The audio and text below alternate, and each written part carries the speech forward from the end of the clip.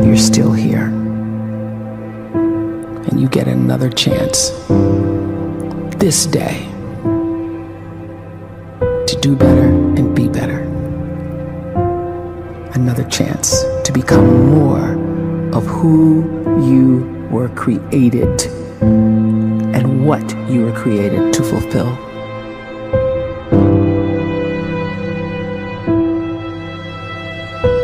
Everyone in the world is capable of living outside the role or beyond the roles that they place themselves in, no matter what it is.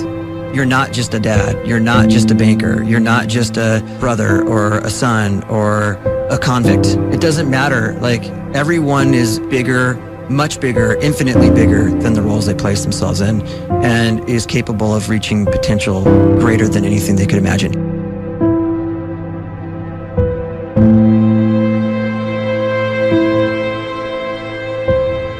You can live the life you desire. It's right there in front of you. But in order to achieve it, you must first see it, then believe it, and then you must graciously ask and train your brain to help you execute your vision.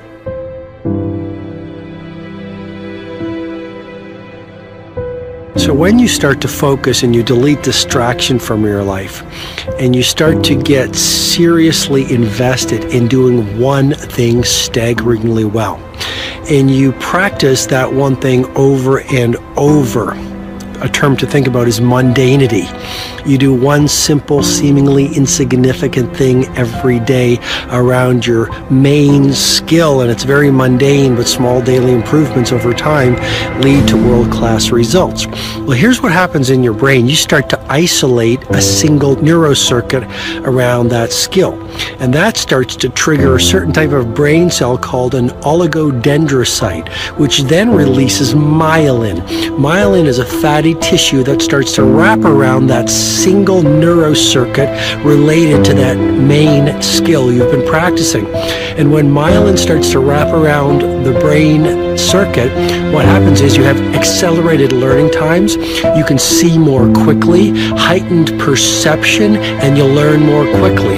And that is really the quote unquote secret of the great producers. It's not a result of some natural gift, but their daily practice, their relentlessness and their grit, their work ethic, and their singular focus and sacrifice.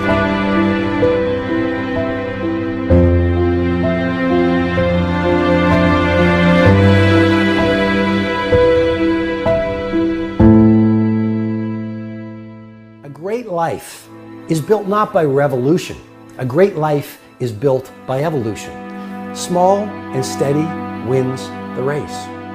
What you do every day is far more important than what you do once every decade. I want you to really think about that idea. What you do every day is simply your life in miniature. And as you live every single day, so you're crafting your life. What you do over the next hours is really building your future. And if you can just get every single pocket of 24 hours right as best as we humanly can, the rest of our life is going to take care of itself. So small wins matter. The scripture says we will eat the fruit of our words. You are planting seeds when you talk. At some point, you're going to eat that fruit. My challenge is make sure you're planting the right kind of seeds. If you want apples, you have to sow apple seeds. If you want oranges, you can't plant cactus seeds, poison ivy seeds, mushroom seeds. You're going to reap fruit from the exact seeds that you've been sowing. In other words, you can't talk negative and expect to live a positive life. You can't talk defeat and expect to have victory. You can't talk lack, not enough, can't afford it, never get ahead, and expect to have abundance. If you have a poor mouth, you're going to have a poor life. If you don't like what you're seeing, start sowing some different seeds.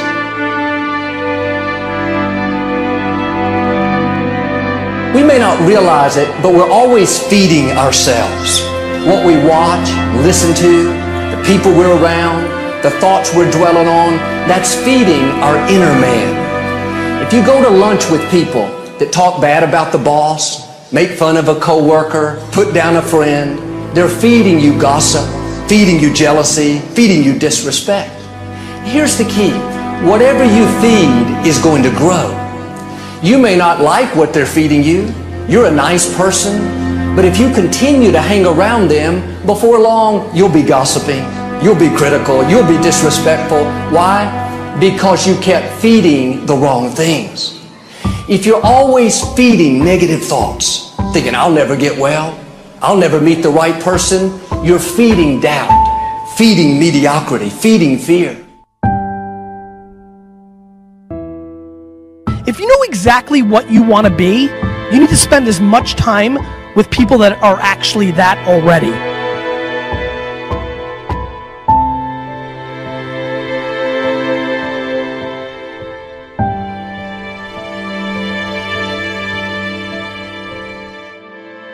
Cannot let a fear of failure or a fear of comparison or a fear of judgment stop you from doing what's going to make you great. You cannot succeed without this risk of failure. You cannot have a voice without the risk of criticism. And you cannot love without the risk of loss. You must go out and you must take these risks.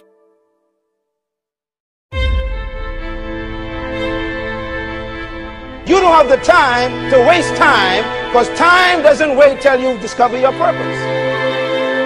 If you don't know why you was born, time is still moving. And if you discover your purpose at 90 years old, it's too late.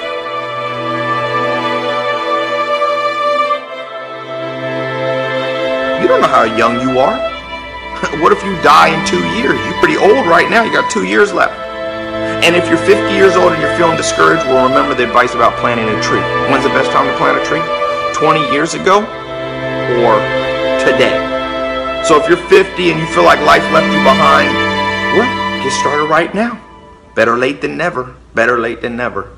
Don't think about time and age so much. It gets people distracted. When the whole world's distracted, you be focused.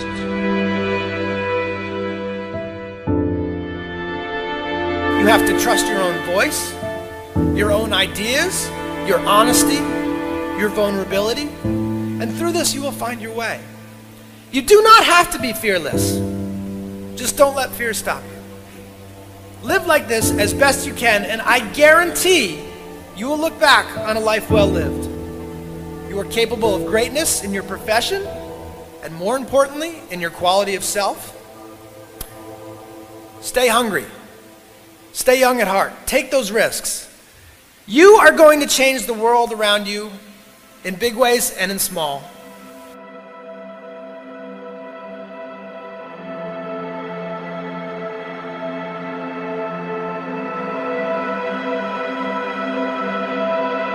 But see, anybody, if you want to, can go searching for a good plan, pick it, and start working it. And sure enough, as the time passes, as it surely will, five years from now, ten years from now, then you'll be winding up wearing what you want to wear, driving what you want to drive, living where you want to live, become what you want to become. But now's the time to fix the next 10 years. And who can? Anybody.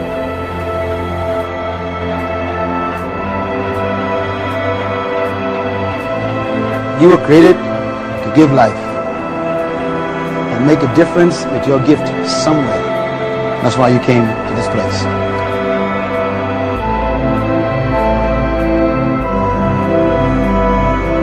You want to improve? You want to get better? You want to get on a workout program or a clean diet? You want to start a business? You want to write a book or make a movie or build a house or a computer or put together some mobile application? Where do you start? You start right here. And when do you start? You start right now.